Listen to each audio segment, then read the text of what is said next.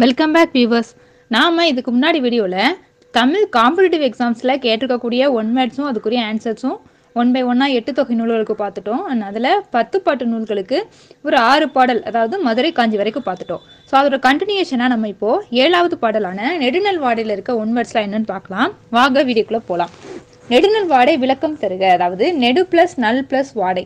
தலைவணி பிரிந்த தலைவிக்கு துன்பத்தை அளிக்கும் நெடு வாடையாகவும் போருக்கு சென்ற தலைவனுக்கு இது நல் வாடையாகவும் தோன்றுவதால் இப்பெயர் பெற்றது. அதனால தான் இதை நெடுநல் வாடை அப்படின்னு பேர் வச்சிருக்காங்க. ஓகே நெடு பிளஸ் நல் பிளஸ் வாடை அப்படின்னா நெடுங்கிறது தலைவியோட துயரத்தையும் நலுங்கிறது தலைவனையும் குறிக்குது அப்படின்னு சொல்றாங்க. ஓகே இந்நூலை பாடியவர் யார் அப்படின்னு கேட்டீங்கன்னா மதுரை கணக்காயனார் மகனார் நக்கீரனார். இந்நூலில் உள்ள மொத்த அடிகளின் எண்ணிக்கை என்ன அப்படின்னு கேட்டிங்கன்னா நூற்றி எண்பத்தெட்டு அடிகள் இருக்குது இந்நூலில் உள்ள பா வகை என்னப்பா இதில் இருக்குது அப்படின்னு கேட்டிங்கன்னா ஆசிரியப்பா. இந்நூலோட பாட்டுடைய தலைவன் யார் அப்படின்னா தலையாளங்கானத்து செருவென்ற பாண்டியன் நெடுஞ்செழியன் தான் இந்நூலோட பாடுபடுத்த இந்நூலில் குறிப்பிடப்படும் துறை எது அப்படின்னு கேட்டிங்கன்னா கதிர் பாசறை. இந்நூலில் பயின்று வரும் திணை யாது அப்படின்னு கேட்டிங்கன்னா வாகை திணை.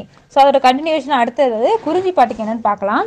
குறிஞ்சிப்பாட்டு அல்லது பெருங்குறிச்சி இதோட பேர். குறிஞ்சிப்பாட்டை பாடியவர் யார் அப்படின்னு கேட்டிங்கன்னா கபிலர். இந்நூலில் உள்ள அடிகள் எத்தனை? இரநூத்தி அறுபத்தி ஒரு அடிகள். இதில் பயின்று வரும் திணை எது? குறிஞ்சி திணை.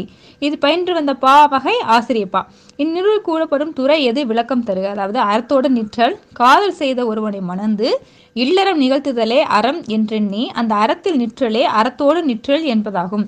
அறம் அப்படின்னா கற்பரம் அப்படிங்கிறது மீனிங் கபிலர் யாருக்கு தமிழ் அறிவித்ததற்காக இந்நூலை பாடினார் அப்படின்னா ஆரிய அரசன் பிரகத்தனுக்கு தமிழை அறிவித்ததற்காக இந்த பாடலை பாடியிருக்காரு.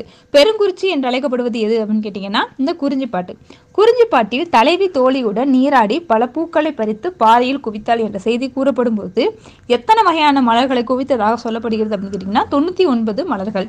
தொண்ணூற்றி ஒன்பது மலர்களை முப்பத்தி நாலு அடிகளில் செவ்வனே உரத்தமையால் உலகில் இயற்கையை வருணிப்பதில் கபிலர் தரை சிறந்தவர் ஆகிறார் என பாராட்டியவர் யார் அப்படின்னு கேட்டிங்கன்னா தனிநாயக அடிகளார் அப்படிங்கிறவர் பாராட்டியிருக்கார். ஸோ இந்த வீடியோவில் நம்ம பத்து பாட்டு நூல்களான நெடுநல் வாடைக்கும் குறிஞ்சி பாட்டுக்கும் இருக்கக்கூடிய ஒன்வர்ட்ஸ் பார்த்துட்டோம்.